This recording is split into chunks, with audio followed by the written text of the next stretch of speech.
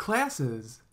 Classes are new in ES6, at least for JavaScript. A class is a blueprint from which individual objects are created. Classes provide a much simpler and clearer syntax to create objects and deal with inheritance. One way to define a class is using a class declaration. To declare a class, you use the class keyword with the name of the class.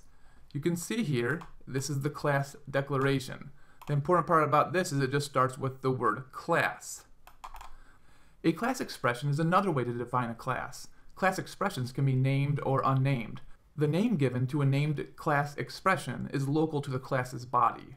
So you can see that a, a class expression starts with the, the variable name, and for the unnamed, and then the name also starts with the variable named. But then this one has the class name here, the named one, the unnamed does not have the class name. But let's go back up here a little bit. I'm actually going to paste some code in here. The first thing I want to talk about is the constructor function. The constructor function starts with the word constructor, and I'll have the variables that you're going to pass in when you're creating the class. And you can see that I just assigned those variables that I pass in, or the, the data that I pass in, to be properties of the function. When you say this dot name equals name, now the class is going to have a property called name and a property called year born. I also have another function that I've put in called get age. When a function starts with get, that means you're going to call this age as a property and not a function. When you call a function, you put the parentheses after it. Uh, when you call a property, there, there's no, no parentheses. I'll give you an example in just a minute.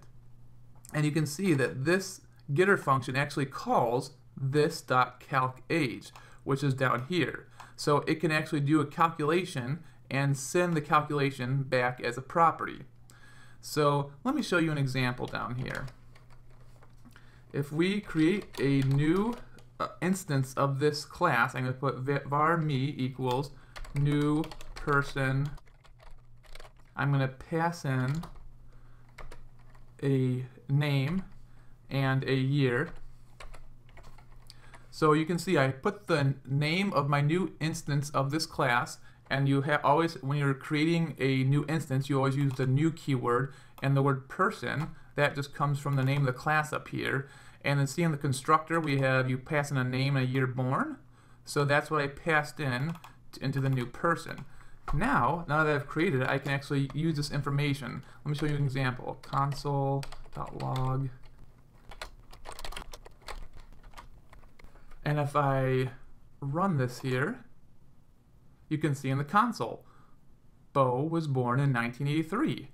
So you can see you can actually just add um, these variable names with, with strings. And when I call this me.name, that's going to take out the, the name Beau that we passed in when we created the function, or when we created the, the, the instance of the class. And we do me.yearborn, it's going to call out the year that we passed in when we created th that, that instance. Here we called properties of the instance of the class, me.name, but we can also call functions. If you look up here, we have another function, what, and it's going to actually log right in the function. It says console.log this.name is a person. So if I type in me dot what. Now this time I'm going to have to put the um, two parentheses after that because I'm calling a function and not just a property. So let's run that. And you can see right in the console, it says the first thing, Beau was born in 1983, and then it shows Beau is a person. There's another type of function we can put in here, and that is a static function. So I'm going to create a new function. I'm going to type in static. Now when you put a function in a class and use the word static, that defines a static method for a class. Static methods are called without instantiating their class and are also not callable when the class is instantiated. And static methods are often used to create utility functions for an application. So here, to call the me.name, me.what, we had to instantiate it by doing var me equals new person. But to call the arms function, we don't need to make an, an instance of it. So let me give you an example. console.log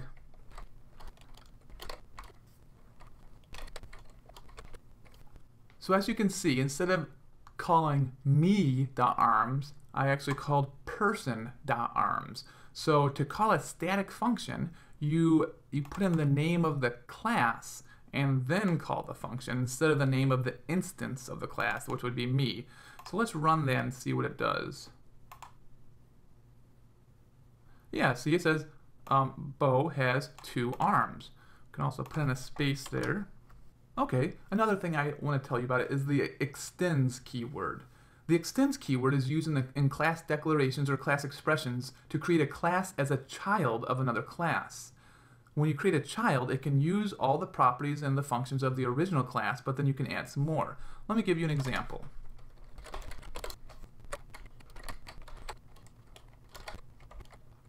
So as you can see, I have defined another class called juggler that extends a person. So um, usually when you're going to use the word extends, it should be an is a relationship. For instance, a juggler is a person. So that's how I juggler extends person. Juggler is a person. Now you can see in the person class, we have what. If you call what, it's going to console.log this.name is a person. However, in the juggler class, we've redefined the what function and it's going to say console.log this.name is a juggler. So let me show you an example of how this works. First, we're going to create a new a, a new instance of this juggler class. So, so I've created a new instance of the juggler class. I called the juggler J, born in 1980. Then I called me.what, that was the original instance of the person class, and now I called you.what, that's the instance of the juggler class. So let's see what happens. I'm going to hit run. Now you can see the last two lines of the console. Beau is a person, and J is a juggler. So you can see that for you, that called the, the J, and the only thing in the juggler class is the what. It says console.log this.name, but juggler doesn't have a this.name. That's because it's it's bringing in the this dot the dot name from the person class. So this dot name is a juggler. So it changes the what function depending on if it's the person or the juggler. And the only other thing I wanted to talk about during this lesson is the super keyword. So if you add a the word super, you can call functions on an object's parent. So the parent of the juggler class is the person class. So if I type in super.what, and then I'm going to clear the console again, and now I'm going to run this. So if you look at the last two lines now, it says J is a person, and then J is a juggler. That's where this super dot what, when it says super dot what here, it's calling this command up here, console.log this.name is a person, which is calling J is a person because we're in the J uh, instance, and then we're going to console.log this.name is a juggler. So using the super command allows you to call the the function from the previous from the, the parent of the class. Well, thanks for watching. My name is Beau Carnes. Don't forget to subscribe, and remember, use your code for good.